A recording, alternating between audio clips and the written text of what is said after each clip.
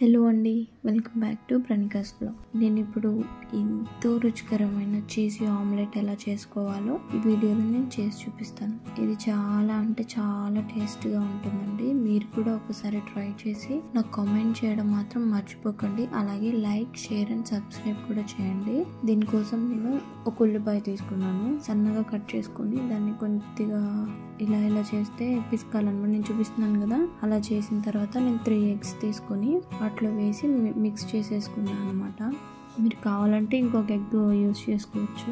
నేను కట్ చేసి పెట్టుకున్న ఆలు ఒక ఆలు తీసుకొని గ్రేట్ చేసుకున్నాను.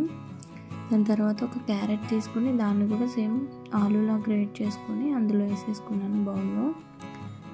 ఒక టేబుల్ స్పూన్ సాల్ట్ యూస్ చేశాను. మీరు సాల్ట్ ఎంత పడితే అంత. నేను న్యాచురల్గా పెప్పర్ పొడిని దంచుకున్నాను ఫ్రెండ్స్. మీ దగ్గర ఉంటే నార్మల్ పొడి అయినా సరే వేసేసుకోండి.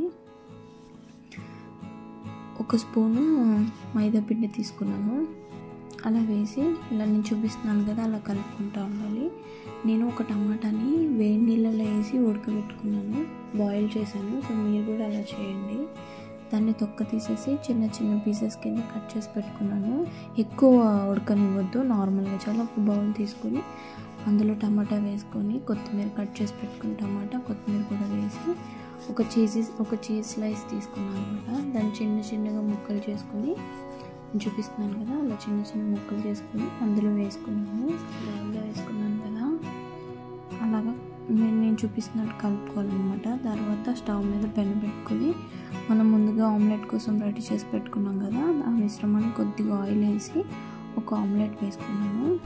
నేను చూపిస్తున్నాను కదా అలా నేను టూ ఆమ్లెట్ చేసుకున్నాను.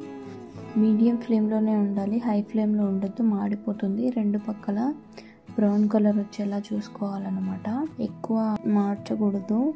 నేను అలా రెండు ఆమ్లెట్లు వేసి పెట్టుకున్న తర్వాత మనం ఇందాక స్టఫ్ రెడీ చేసి పెట్టుకున్నాం కదా మధ్యలోని అలా ఒక టూ ఆమ్లెట్స్ తీసుకొని ఒక ఆమ్లెట్ పైన ఈ స్టఫ్ వేసి ఆమ్లెట్ని వేసేసాను అనమాట వేసిన తర్వాత దీనికి ఒక దానిపైన కట్ చేసి పెట్టుకున్న చీజ్ స్లైసెస్ ఉన్నాయి కదా దాన్ని వేసుకున్నాను దీన్ని స్టవ్ మీద పెట్టుకున్నాను అనమాట ఏం చేశానంటే ఒక కడాయి పెట్టుకుని దాంట్లో స్టాండ్ పెట్టి కొద్దిగా వాటర్ వేసి దాన్ని బాయిల్ చేయాలి. ఆ ఆవిరికి మనకి చీజ్ అదంతా ఉడుకుద్ది లైట్గా బాయిల్ అవ్వద్దు అనమాట ఒక టెన్ మినిట్స్ ఉంచుకున్నాను.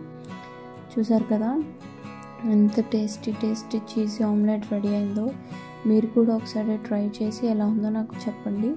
అలాగే కామెంట్ చేయండి. లైక్ షేర్ అండ్ సబ్స్క్రైబ్ చేయడం మాత్రం మర్చిపోకండి సుమి.